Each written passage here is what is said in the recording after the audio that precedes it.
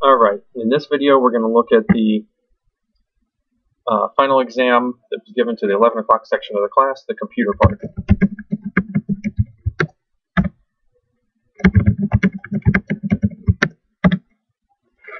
Let's do the easier questions first. Most people got these, the syntax errors.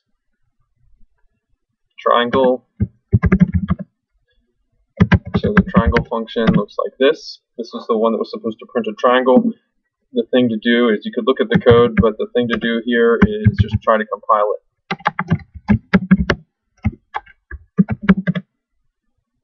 try to compile it says error, this says line 26, H was not declared. Go down to line 26, here's H and it says it was not declared. Then we want to go and look where H was declared. That's up here, and you see that there's a capital H. We need to change that to be a lowercase h, or change this to be an uppercase H, and this to be an uppercase H. Alright, so that's without even understanding what the rest of the program is doing. You can still fix that error. there it is. I'll go ahead and change that back to the way it was. So you can remember that. Okay, that's the triangle. Next one was alphabet. There it is. Again, first thing to do is just try to compile it.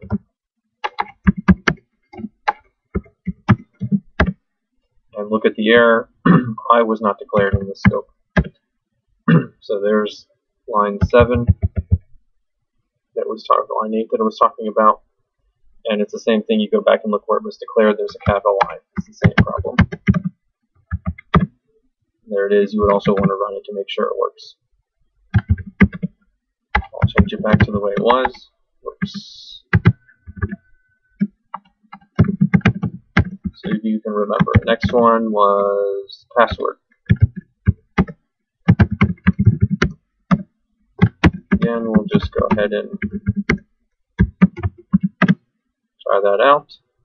First error it complains about is line 8, expected uh, parenthesis before the not. And then there's some other errors, but you go to the first one, line 8. So it says it expected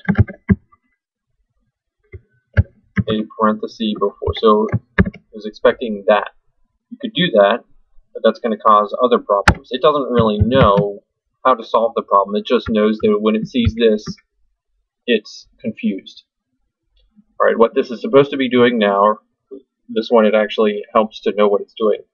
Um, this is asking for a number, and it'll keep asking as long as they haven't gotten the right number. Here's your C out, here's your C in. User input is going to be some number, and this is supposed to be checking as long as user input is not equal to the correct. So this not is supposed to be not equal. That's the reason. A not just by itself is um, means not for a Boolean condition. It doesn't mean not equal. Alright, so we go back and try this. You could run it to make sure it works, but it does. Right, so that's the way it was. Now let's go back to the first problem. First problem here, um, wanted us to print this stuff. Should ask the user if they want to hear a song. If they say yes, it should print this.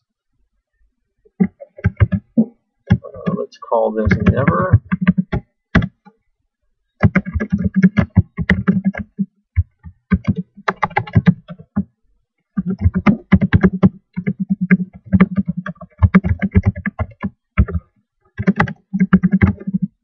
The stuff that's going to get printed was this. I'll just leave that there for a second. We're supposed to say hello. Hello, do you to hear a song? I'll say yes, no is what they're supposed to type. and then I'm gonna get their answer. I need to have something to read that into.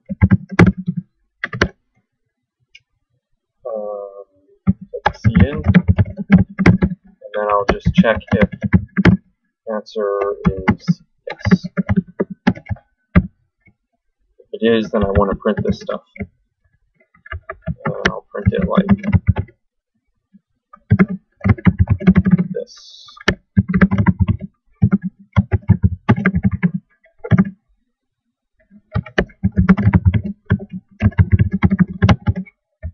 Okay, that's it.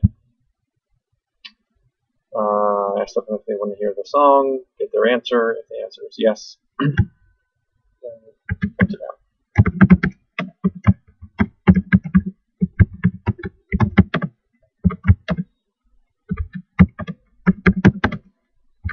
I didn't say why. There it is. Okay. Second part is never two. Make them say yes or no. Alright, so let me call this never two. They're supposed to say yes or no. You can make this yes. But before we get to that point, we want to make sure that the answer is yes. So we want to have something like, well, answer is not equal to yes, and answer is not equal to no. Okay, so we want to have something like that, but this is the thing we want to repeat. It's actually easiest to do this with a do while. Looks like this. Have to put a semicolon there. Okay, so I'm doing all this stuff inside of here as long as the answer is not yes and is not no. I'll just keep asking. Um, if I compile it like this, I'll get a message. Do that.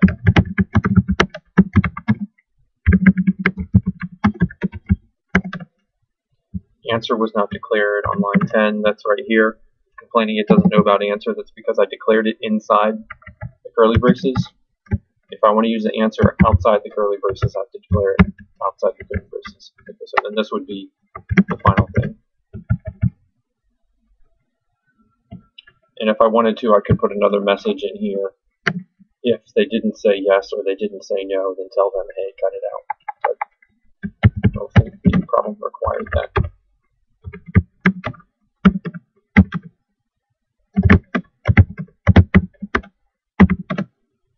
Okay, that's never two. Next question.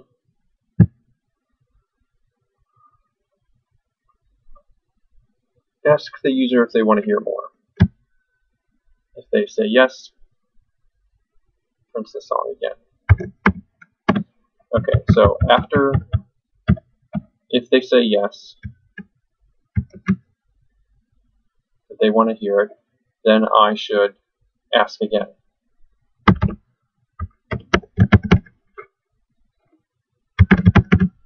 So I'm going to do something like this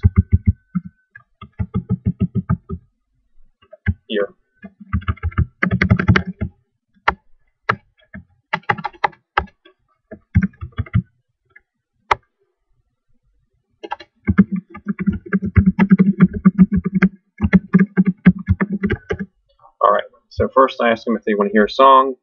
Keep keep asking as long as they haven't answered correctly. If they do want to hear a song, then I play the song and then ask if they want to hear more. So this answer will be um, yes or no down here. At this point, um, if they say yes, then it would get down here and it would be done. I want it to repeat, so that looks like a like a while loop. So I'll say here, in this case, I can put the while up here. As long as the answer is yes, and then I don't need this if anymore. As long as the answer is yes, I'm going to print the song and then ask if they want to hear it again. They say no right here, it won't do this at all. If they say yes, I'll print it, and then this will update the, the value of their answer. So this is, oh, I didn't, I meant to call that number three.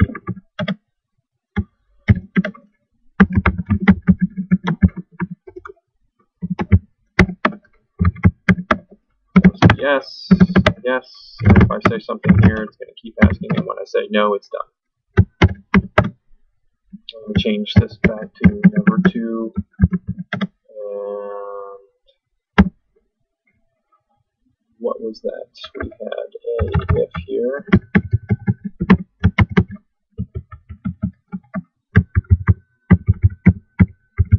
Not much difference between number 2 and number 3 basically we have that changes into a while and then we ask the question again. Alright, so that was never two. Let me get back to never three. Here's never three. Alright, let's go back to the next question. This one was making it so we print a history.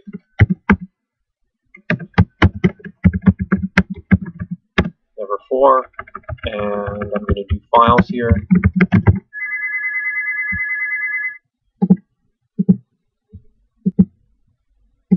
Alright, so if we're going to do files, we need fstream. And so I wanted to have a transcript. That means every time the program says something, put it in the transcript, and every time the user says something, that's a cin, also put that in the transcript. First thing is to open the file. So I'll do an OF stream, that's output file stream. I'll call it out file, and then you put in parentheses, um, in quotes, the name of the file. I'm going to call it history.txt. And then when everything's all done, I need to close that file.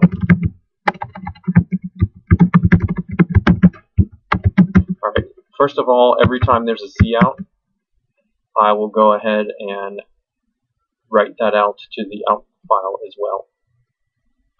And one way to make this slightly easier to read is um, I'll make a variable. So here instead of doing just the cout, I'll save what I'm going to say and then I'll do cout and I'll also do out file. Okay, so then I only have to have this string there once. Here's another cout, so I'll do output equals this, and I need to get rid of that end line. That's not okay. to set a string equal to that.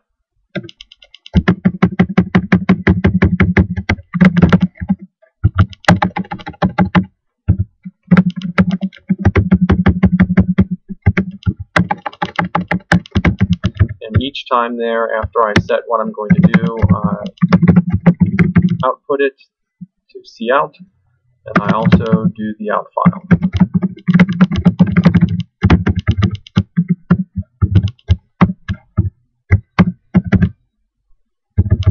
Here I have another one of these.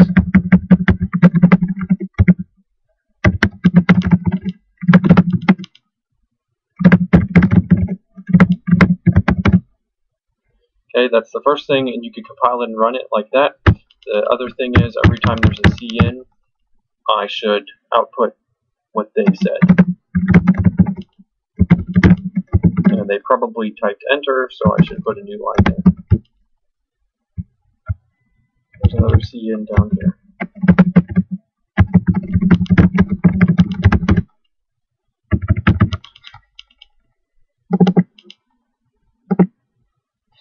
So our whole program now.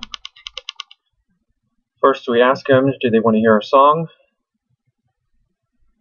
Make sure they said yes or no. As long as they said yes, we print the song and we ask them again.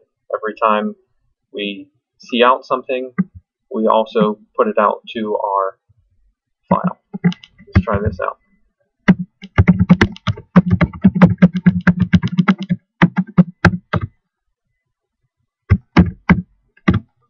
Uh, I declared it with a capital F. I'll change that back to a lowercase f. That's what I used everywhere.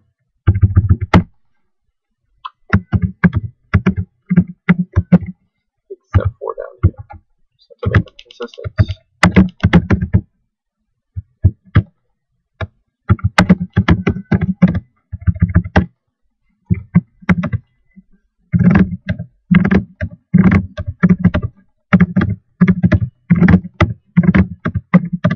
Okay, so now I should be able to go and look at history.txt. And that has stuff that I printed and the stuff that I typed. And that is the end of the exam. How long did it take us? 15 minutes or something? Okay.